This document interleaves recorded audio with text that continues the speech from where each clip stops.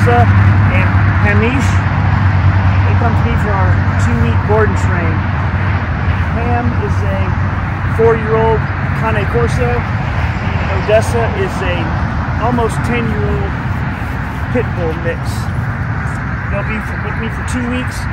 Actually, um, no real reactivities or things like that. You're mostly just for basic obedience, uh, manners, things of that nature.